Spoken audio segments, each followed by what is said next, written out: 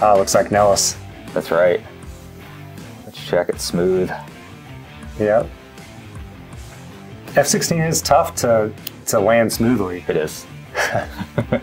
There's the Navy. Right. Yeah. Air Force guys land smoothly. the Navy guys just come powering in. But look at how beefy that gear is on Yeah. the F 18. That's that's the impressive part. Yeah, yeah. I mean, that's F-35. They have the C model with Right. a lot beefier gear, so you can't do that with the uh, the Air Force gear. For sure. Lot uh, lot uh, lighter and uh, you know I guess better pilots, so you don't need to do that. My new book comes out May 23rd. It's How to Apply Fighter Pilot Decision Making to Everyday Life. Check it out. Links in the bio.